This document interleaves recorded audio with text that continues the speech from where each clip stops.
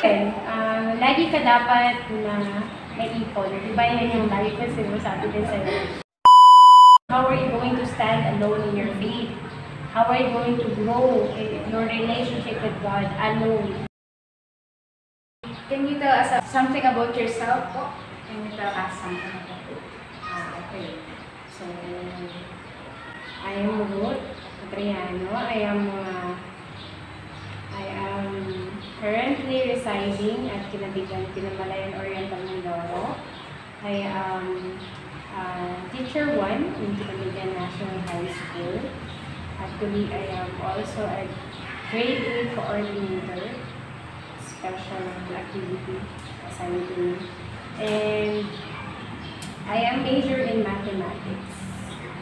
I, uh, I am the only daughter of uh, uh, Mr. and Mrs. Magriano, and I have three uh, brothers.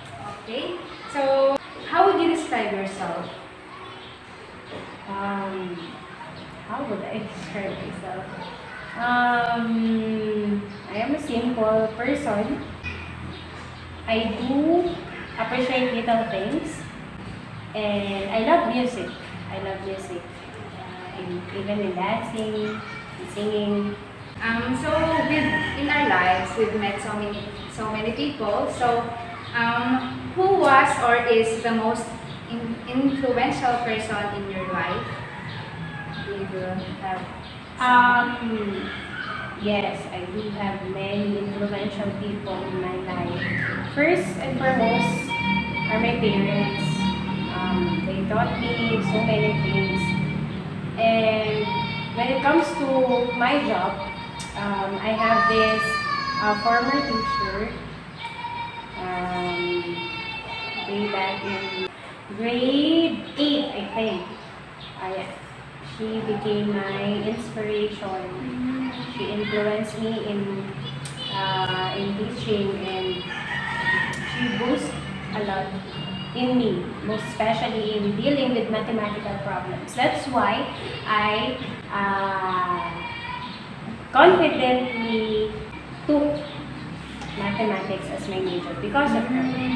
Wow.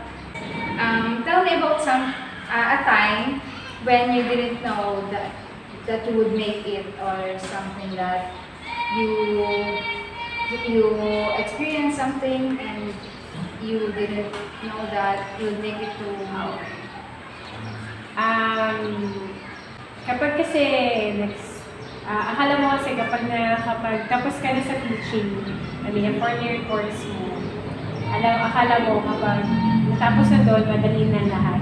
I mean, makakapagtrabaho ka na, makakapagbalik ka na sa family mo.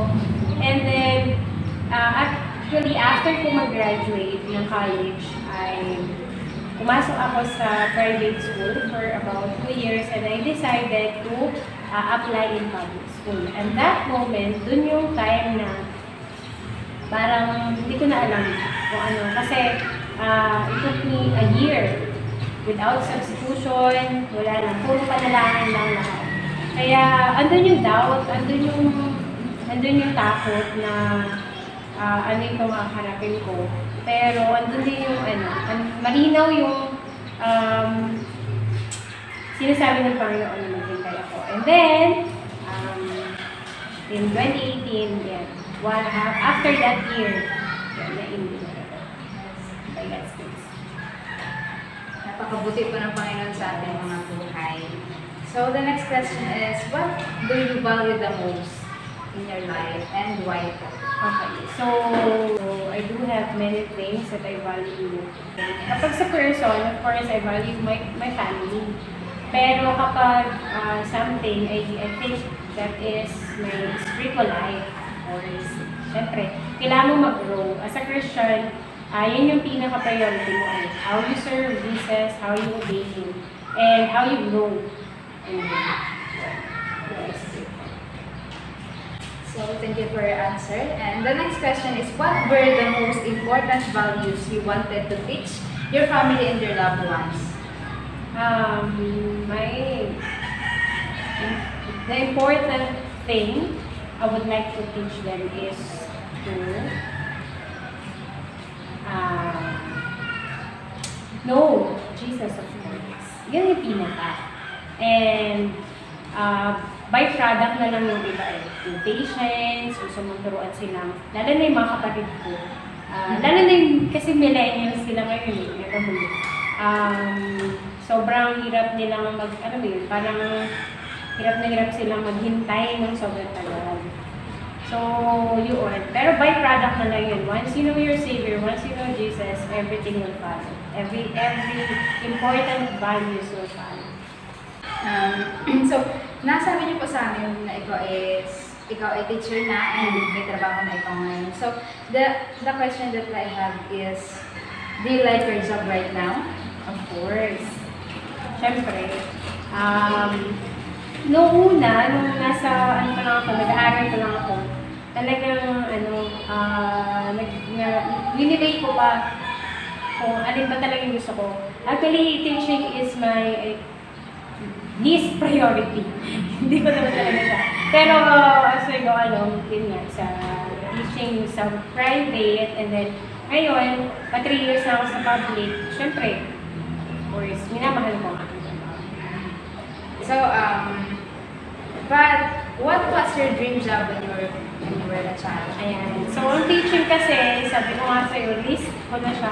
Gusto, ang pinaka gusto ko talaga is architecture.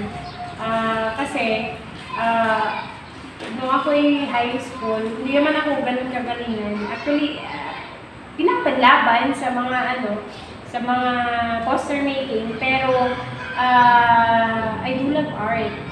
Ano ba yun? Yung pag tumitingin ka sa isang kwarto, nag, nag-i-imagine ka ng sarili mong design, sarili mong ah, structure, ganun. Kaya siguro nagustuhan ko ang um, architecture. Pero, ah, since panganay, I mean, ayaw mapalayo sa pamilya, kaya teaching and, and ano. Kasi yun ang in-demand dito sa Mindoro.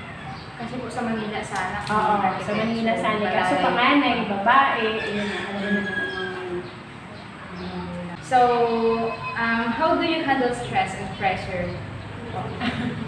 Since you know me well, I'm not good at handling stress. You know naman, hindi ako ganun kagaling. Talagang kita-kita mo, nagbabago talaga yung aking itsura. Pagdating sa, pag sobra na akong stress, sobra na akong, minsan nga dumarating pa sa point na ano, anxiety na eh. Pero, um, kapag, kapag pala pinaparanas ka ng Panginoon sa ganun mga paulit-ulit na mga stress, you will learn how to overcome it. Ah, by prayer. By prayer lang. So, kasi, ah, hindi mo kasi hawak yun eh. Hindi mo control kung kailan ka magiging mag ibobombarded ng mga maraming mga bagay. At hindi mo kayang lahatin yun. So, yung mga bagay na hindi mo control, syempre, dun sa may control ka dapat. Dun sa may kakayanan. So, through prayer lang talaga. Yun. Sa iba naman po siguro, kagaya ko, kapag ganun. Oh, may nagkapagto din sa akin na iba na kapag stress, stress sila at may pressure may mga problema, gusto nila yung meron silang kasama na makaka-fellowship, makashare nila.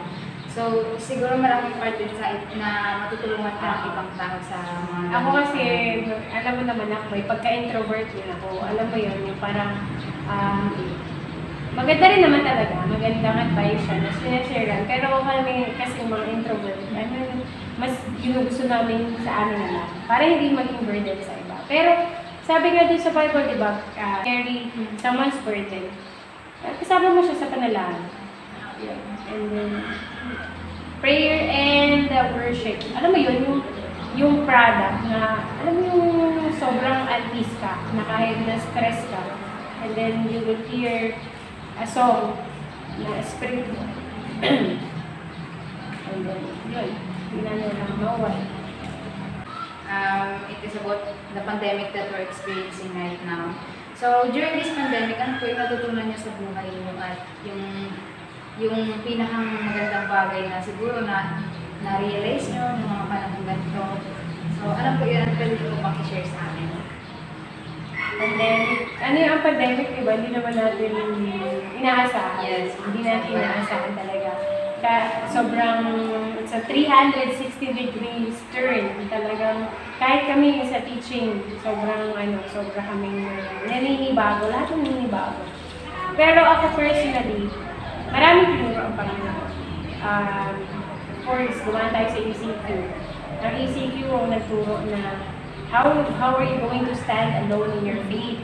How are you going to grow in your relationship with God alone? Kasi wala kang kasama eh. Bawal yung uh, social, bawal yung gathering, this, uh, may social distancing, ano mo yun? Yung dating na ini-enjoy mo noon ay parang pinagbawal na ngayon. And then, ano pa ba? Spiritually yun. Tapos, uh, financially, of course, tinuruan doon, parang pinapakita sa ng Panginoon na by one snap, kaya kong, kaya kong ano yung lahat, i-hold lahat. Yun, siguro ano rin, ah, lagi ka dapat na may ipon. Diba yan yung lagi ko sinasabi din sa'yo, na ano, mag-ipon. Mag-ipon. Kasi not all the times are sunny days. May rainy days lagi. And just like an ant, you must always prepare. Ayun. And then, of course, it taught us na to value our family more. Yes. Yun. Maraming spend ng ano, time sa family nila. Yes, so, Sa tipong sa bahay lang pala. yung tipong lahat na ginawa. yung tipong hindi mo pala ginagawa noon. Ano Mm. ba yun? Yung pandemic ay, yun. Hindi naman siya totally, maraming stress ang pandemic. Pero sabi nga ay, ah, always look at the positive side. Ano tinuturo sa'yo? Yun. Yung mga parang hindi ko yun na-realize na ano, ba, na hindi para nakakasawa yung pamilya. True. Kahit ano. Alam mo, pag kasi lalo na kapag nagtatrabaho ka, na parang ano, dumarating sa point na, halos wala ka naman time eh. Imagine, uh, lunes hanggang biyernes, 8 hours ka lagi sa work. Tapos pagdating mo sa bahay, sobrang pagod. Itulog ka na lang, wala ka ng time sa amin. Yun, siguro, yun. Dinalyo talaga. nangyari. So, yung last po natin na question, yung what is your favorite Bible verse and anong nagawa nito sa buhay mo and how did you apply it and how it inspires you po? Um, Isaiah chapter 41 verse 10. It says, Not be afraid, for I am with you. Do not be discouraged, for I am your God. I will strengthen you and help you. I will lift you up in my victorious hand. Paano ba nakatulong sa akin? Ako kasi yung tao maraming fear. Ah, syempre, ayun. Ah, maraming, maraming takot, marami. Pero, andun yung lagi niyang paalala. Maganda yung paalala ng Panginoon. Para bagang, bakit sa lahat ng verses yun ang aking napili? Parang it defines me, my character. Ah, I, am a, I am a person na maraming takot, kaya sinabi na do not be afraid for I am with you. Ako, mabilis din ako ma-discourage. Ano, mabilis ako ma-encourage, pero mabilis din ako ma-discourage kapag kunyari nakakita ko parang ah, hindi na umaayon sa gusto ko, hindi na umaayon sa kung ano yung dapat, mabilis ako ma-discourage. So, yun yung second na part, the, do not be discouraged, for I am your God. Ibig sabihin nun, siya yung dapat kong tingnan, hindi yung mga tao na nakaka-discourage sa akin. I will help you and I will lift you up in the victorious life. Yun yung last part na everything that I did, dapat ay um, ang tawag dun, yung parang you're after his smile, you're after his uh, praise. Kasi at the end of the day talaga, ang Panginoon lang ang dapat mo i-please. At i-claim mo lagi na victorious. I-claim mo lagi. Kasi victorious yung Panginoon na sinaserve mo. Amen. Salamat po. How, are you going to stand alone in your faith?